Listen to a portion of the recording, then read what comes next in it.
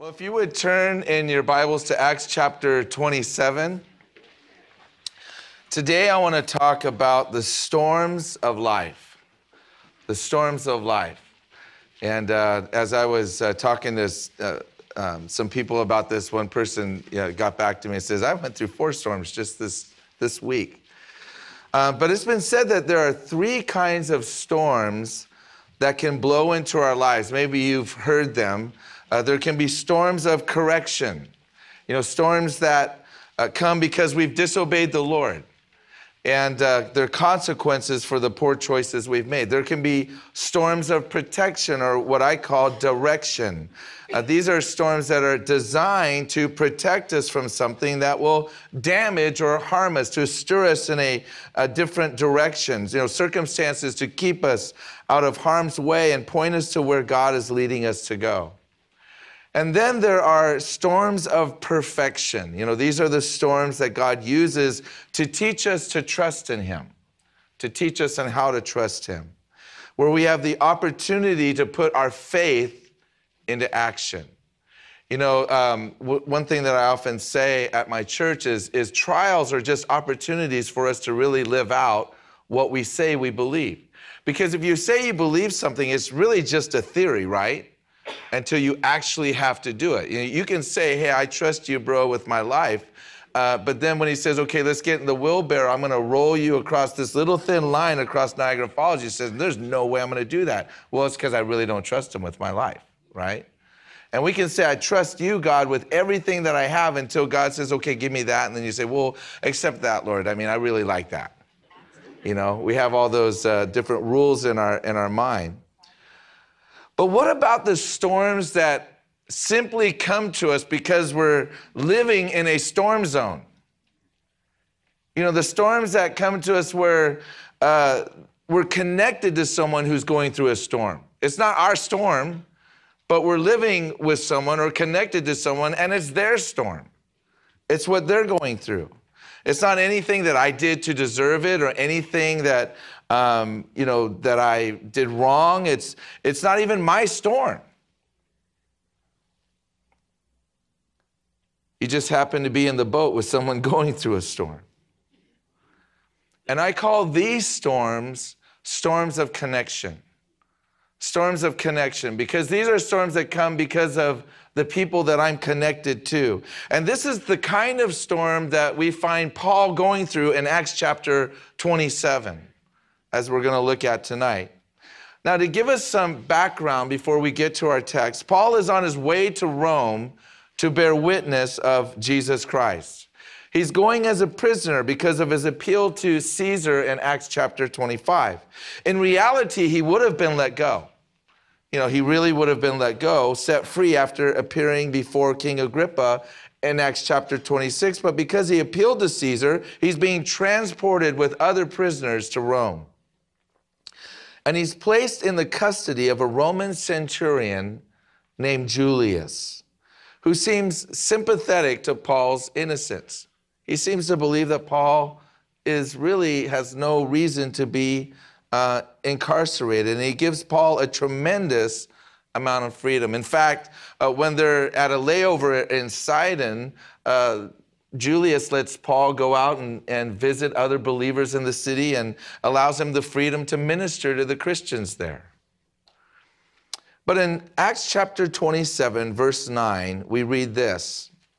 Now, when much time had been spent and sailing was now dangerous because the fast was already over, Paul advised them, saying, Men, I perceive that this voyage will end with disaster and much loss, not only of the cargo and ship, but also of our lives. Nevertheless, the centurion was more persuaded by the helmsman and the owner of the ship than by the things spoken by Paul. And there's a couple of things I want us to notice here just as we're getting into it in this first part of the passage we're reading tonight. First of all, notice that Paul warned them against leaving. Paul brought a warning to them. He says, if you leave, this is going to end up in total disaster. There's going to be losses, maybe even the loss of life. He warns them ahead of time. It's like when you go to the movies and you see the guy, and he's about to walk into this room, and you know the bad guy's waiting to shoot him in the other room. And then you're sitting there going, No, because you like this guy, he's the good guy, and you start yelling at the screen, Don't go in there, don't go in there. And what does he do? He goes in there, right? It's like he totally ignores the fact that you're sitting in the theater yelling at him. Of course, everyone else is going, That person needs their medication. But the owner of the ship and the helmsman convince the centurion who's taking Paul to Rome to set sail. We've got to leave. And they sail right into the clutches of a hurricane force storm. In verse 13 we read, and when the south wind blew soft uh, when the south wind blew softly, supposing that they had obtained their desire putting out to sea, they sailed close by Crete. But not long after, a tempestuous headwind arose called Euroclydon. And so when the ship was caught and could not head into the wind, we let her drive. And running under the shelter of an island called Clauda, we secured the skiff with difficulty. And when they had taken it on board, they used cables to undergird the ship. And fearing lest they should run aground uh, on the Syrtis sands, they struck sail and so were driven. And because we were exceedingly tempest tossed, the next day they lightened the ship. And on the third day we threw the ship's tackle overboard with our own hands. Now, when neither sun nor stars appeared for many days and no small tempest beat on us, all hope that we should be saved was finally given up.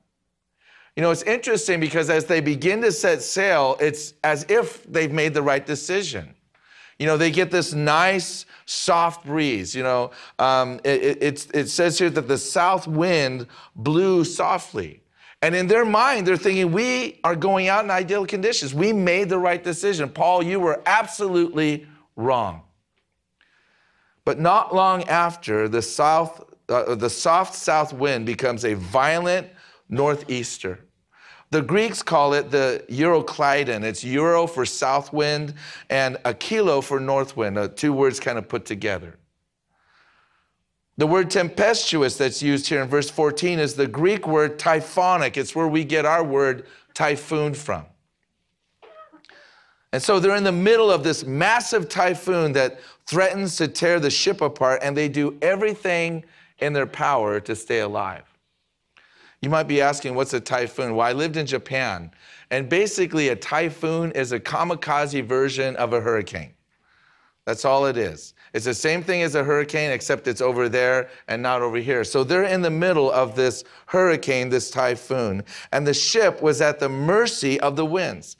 They tried to stay close to shore to use the islands as a, as a windbreaker to protect the ship, but the winds were too powerful. And fearing that the winds would tear the ship apart, they used cables to hold the ship together and, to, and they lighten the ship so it rises above the waves.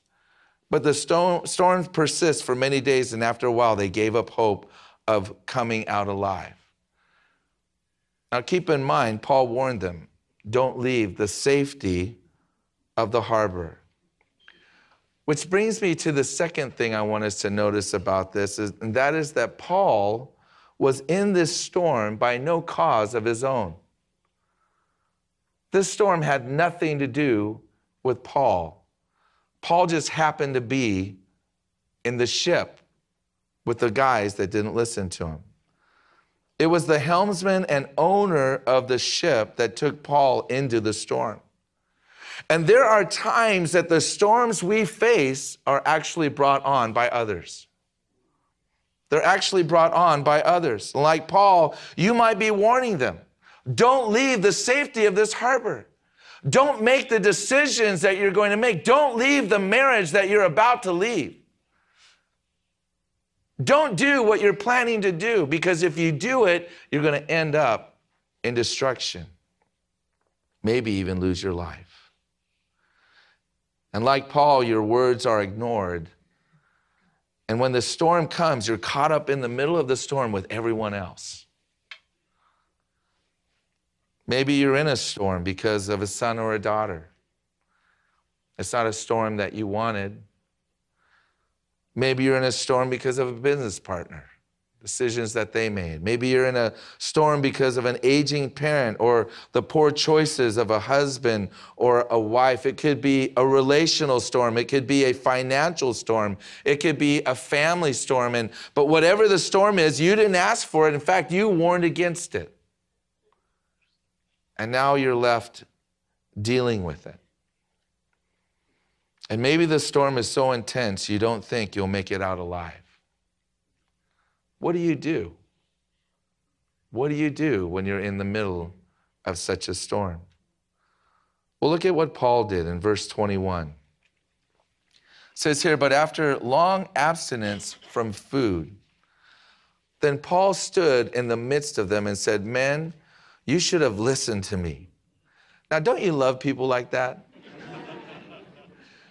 You're like, you're having a good day and you, you know that things are rough, and they go, You should have listened to me. You should have listened to me and not have sailed from Crete and incurred this disaster and loss. And now I urge you to take heart, for there will be no loss of life among you, but only of the ship. For there stood by me this night an angel of the God to whom I belong and whom I serve, saying, Do not be afraid. Paul, you must be brought before Caesar, and indeed God has granted you all those who sail with you. Therefore, take heart, men, for I believe God that it will be just as it was told me. However, we must run aground on a certain island. What's the first thing that Paul does? He prays. The first thing that Paul does is praise. It says, after long abstinence from food. What does that mean? That means that Paul was fasting. He didn't have to not eat. He chose not to eat because, in the midst of this storm that was brought on, that he was part of, that was not of his own choosing, he needed to hear from God. And what did he do? He sought the Lord. He sought the Lord. He fasted and he prayed. You know, when you're going through a storm, that's not the time to call up your friends and vent. When you're going through a storm, that's not the time to, to throw up your hands and just say, That's it, I've had enough. When you're going through the storms, that's when you get down on your knees and you seek the Lord and you pray and you ask God, God, what is going on here? What is your perspective? What are you doing in the midst of this? Where is this storm headed?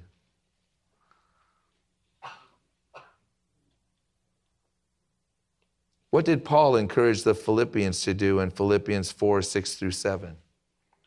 He said, Be anxious for nothing, but in everything by what? Prayer, and supplication. With what? Thanksgiving. It's easy to pray and supplicate. It's harder to pray with thanksgiving when you're going through it, isn't it? It says, Let your request be made known to God, and the peace of God, which pass, surpasses all understanding, will guard your hearts and minds through Christ Jesus. Now, you read those, and those are great comfort to us that are going through storms, but you ask yourself, how could Paul say that? How could Paul pen those words? Well, the reason why Paul could write these things down is because he lived it. He went through it, and he knew that the only way through the storm is through prayer. And that's the first thing he did. It's not the time to be discouraged, it's not the time to complain. It's the time to seek the Lord because you don't know what the outcome of the storm will be, but God does. God does. He knows the end from the beginning. And there's many storms that I've been through in my life, and I didn't know how the storm was going to turn out, but God always did. And when I heard from God, it was always an encouragement. As a friend of mine, friend of yours too, Pastor David Trujillo said, when I'm going through hard times. No. what? What are you laughing about? No. Uh, you know, when you're going through hard times, don't blame God, seek God and find great comfort in knowing that He'll bring about a glorious result. Seek God. The second thing Paul did is he spoke the truth in love. He didn't become a victim of the storm. He became a source of truth and of love. And he says to them, Guys, you should have listened to me when I told you not to set sail. And the purpose of Paul saying that was not to call him out. It was not to call them to accountability. It wasn't to throw down. It wasn't to condemn them. It was not to judge them. It was to build credibility with them. Because Paul was going to tell them what was going to happen next.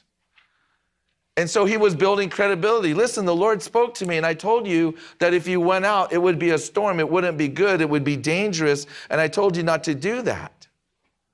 But listen to me because God has spoken to me again. Don't be discouraged. Don't lose heart because none of us are going to die.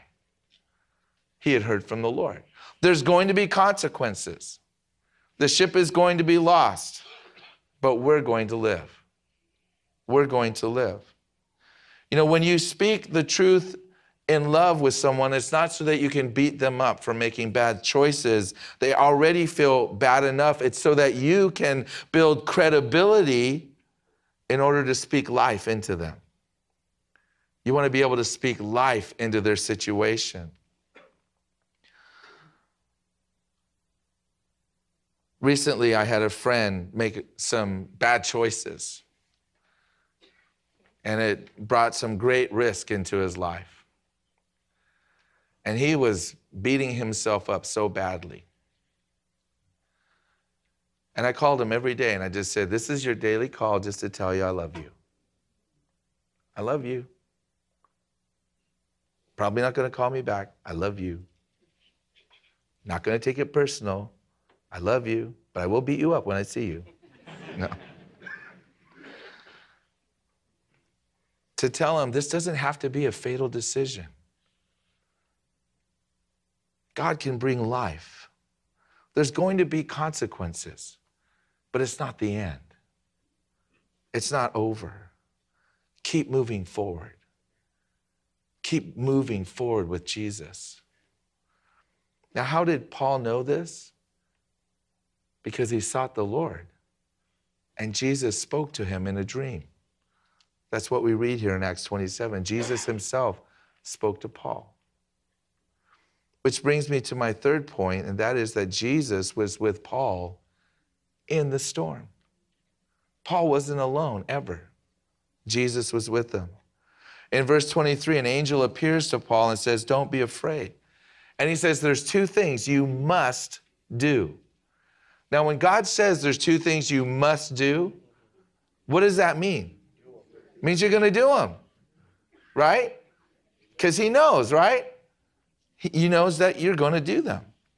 You must be brought before Caesar, and you must run the ship aground on a certain island because I have a purpose for you there.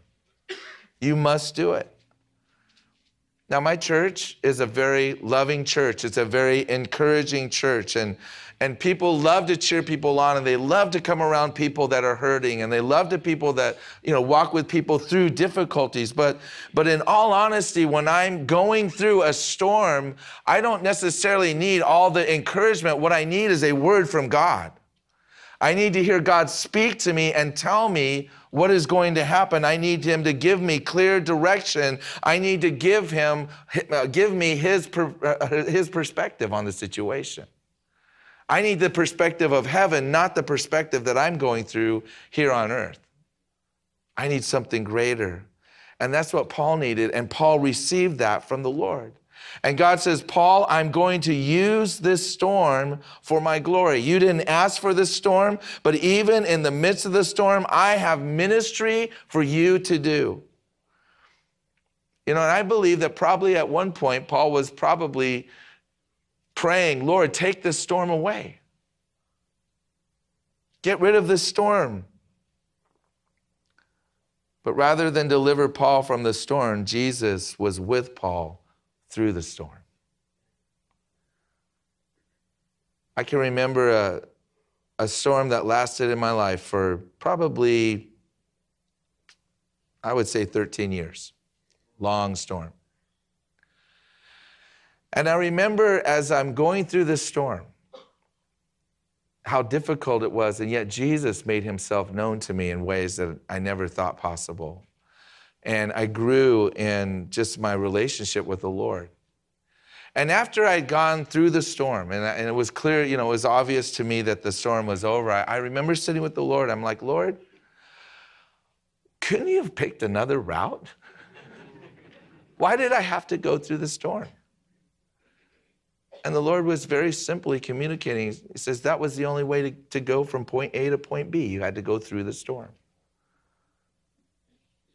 It was just the next step. But through the storm, Jesus was with me. None of us are immune from the storms of life. But Jesus said, I will be with you. He promises to never leave us nor forsake us. And especially if you're short. Because the Bible says, Lo, I am with you always.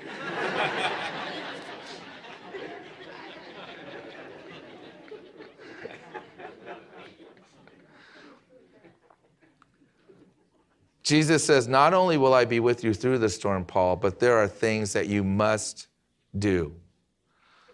Paul, you must go to Rome.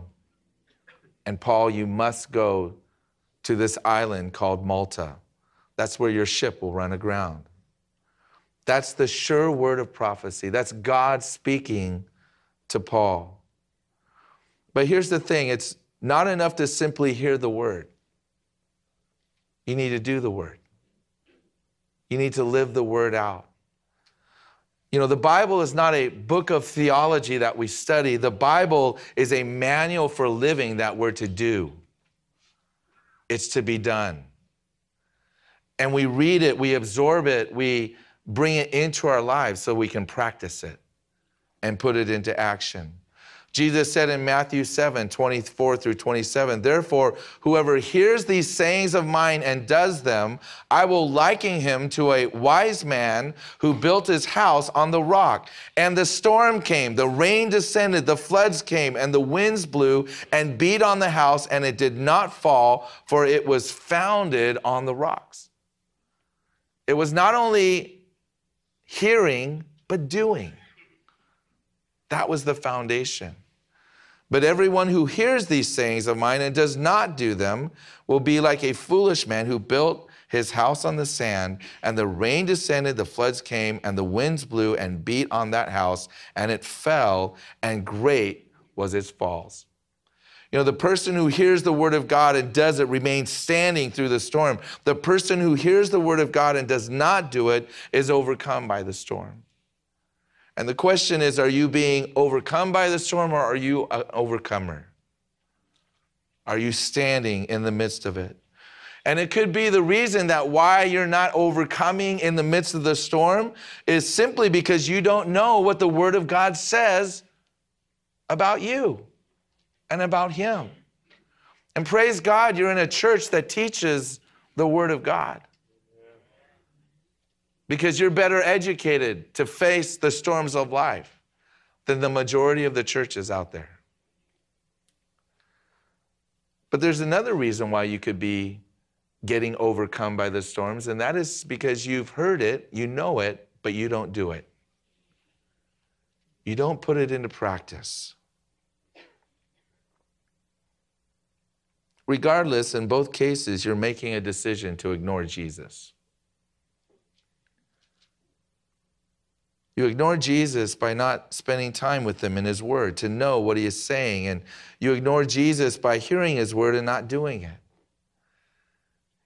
And here's the question why cut yourself off from the greatest source of help that you can have in Jesus by spending time with him in his word?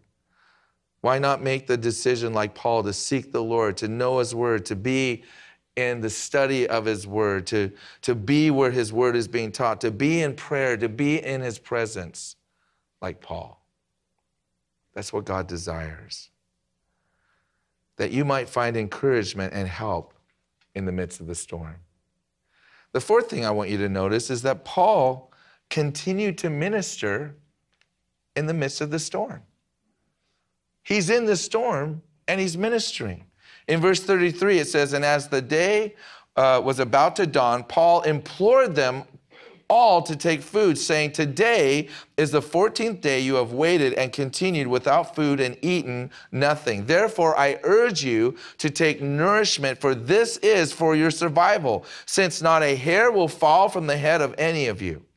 And when he said these things, he took bread and gave thanks to God in the presence of them all. And when he had broken it, he began to eat. And then they were all encouraged and also took food themselves. God gives Paul a word of encouragement to those who are in the boat with him, that are going through the storm with him. In verse 24, Paul tells them, Don't be afraid, take heart, be encouraged. And then here in verse 34, Paul tells them, Eat food, get your strength up. This is for your survival. And here's the key God said, Not a hair on your head will fall, but you need to participate with what God is doing here. Don't starve yourself, eat. Now, I've taken that literally in my life.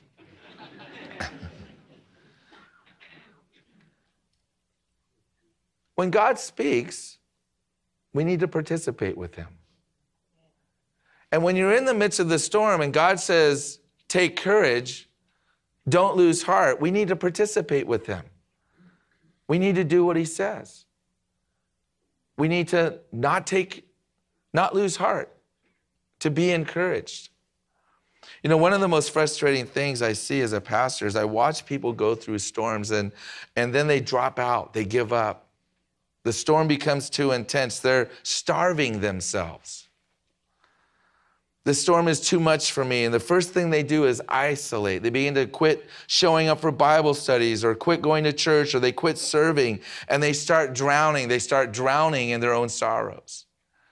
And I, I want to commission you guys as, as, uh, as members of this community. When you see people start to withdraw, when you see people begin to pull away, to isolate, go after them because they're in the midst of a storm.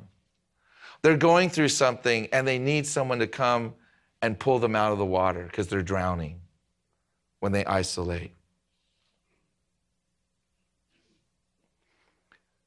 People that are drowning become more critical less gracious, more judgmental, less objective, more black and white, less focused on God's plan and more focused on the storm.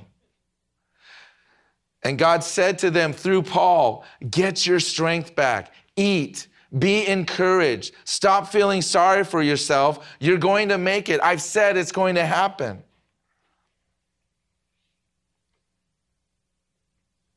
And sometimes that decision just to simply go and show up someplace to serve feeds the soul. Sometimes that decision just to show up, I'm going to go to church. I know I don't feel like being there. I'm just going to do it. Feeds the soul. It brings strength back to you. And if you're in that place today, Jesus is saying to you, don't lose heart. Get back into the fight. There are things that you must do, things that God has for you to do. Don't check out, engage. This is not the time to pull back. This is the time to move forward.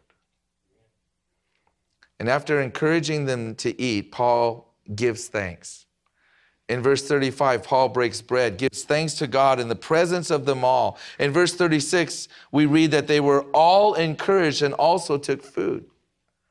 So Paul didn't just tell them, this is what you need to do. Paul led them in doing it. You need to eat. So I'm going to give thanks and we're going to sit down and eat.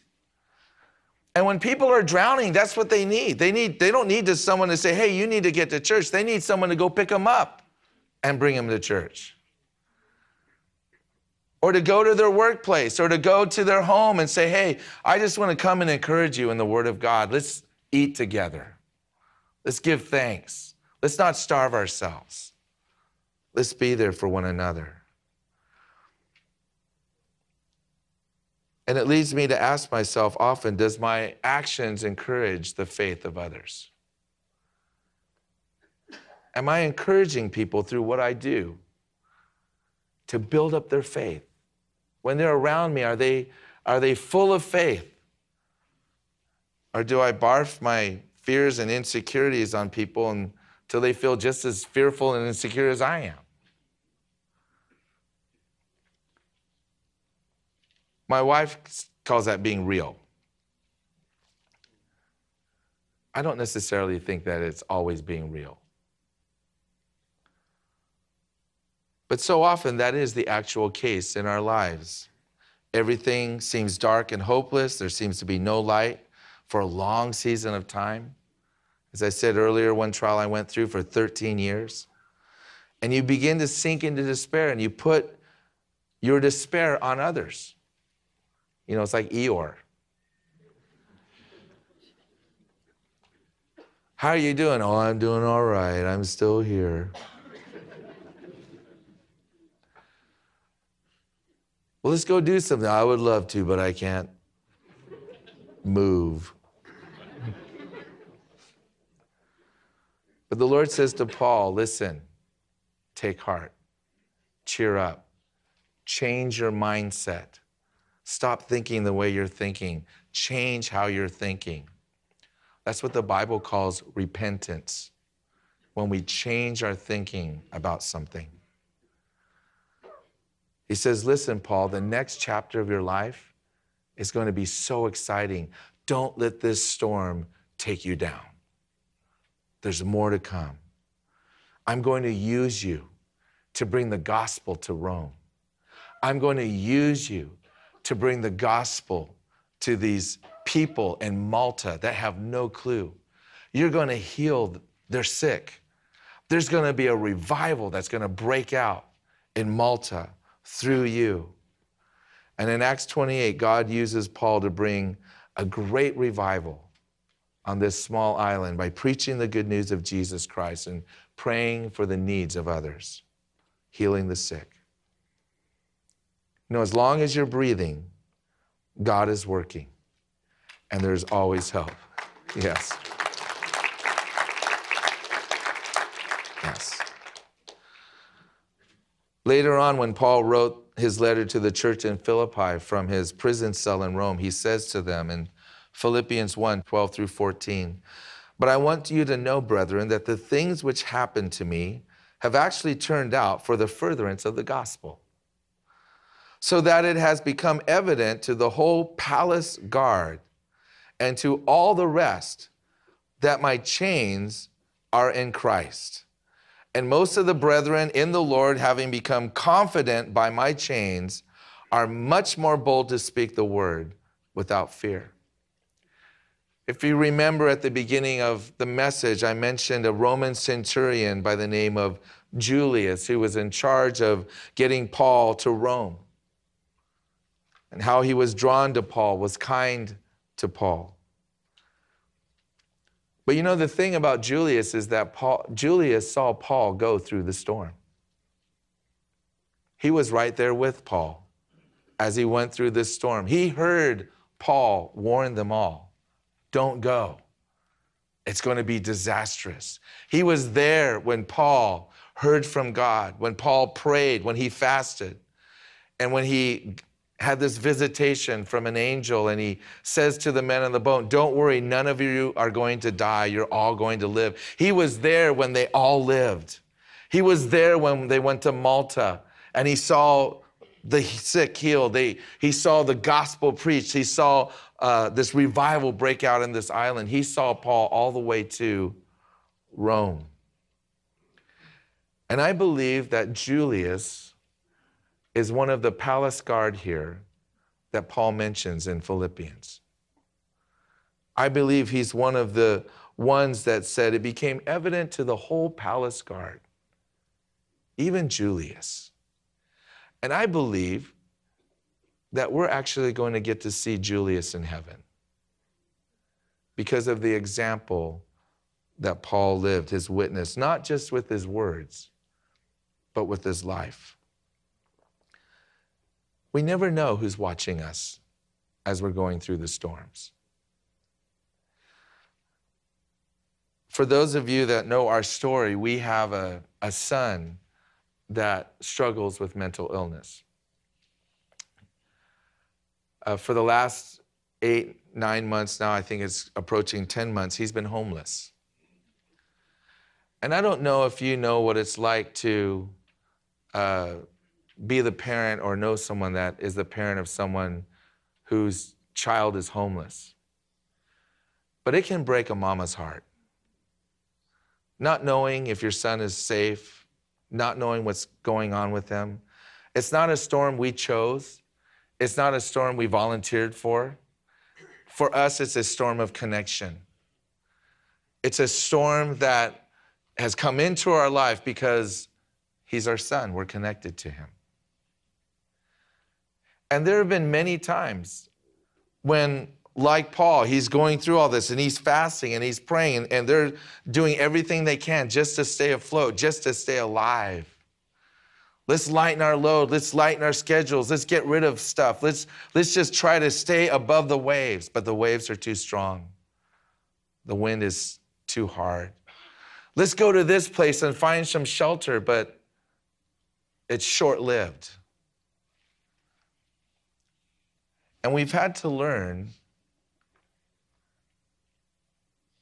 how to seek the Lord and how to pray and how to take our direction from Him and to listen to Him for the outcomes and not look at our circumstances. Because when you look at the circumstances, it can feel hopeless. Like, I don't know if we're going to make it out of this alive. But what we have come to discover is that in the midst of this very difficult storm, we have a very present Jesus who loves us, who will never leave us, who will never forsake us, who gives us guidance, gives us direction. We've prayed to him. There's been times when we've said, Lord, he has no food. Would you please feed him tonight somehow? And then we'll get a text from someone in our church. Oh, we just ran into your son at the harbor. We went and bought him a hamburger. Thought you would want to know. Lord, what's going on with him?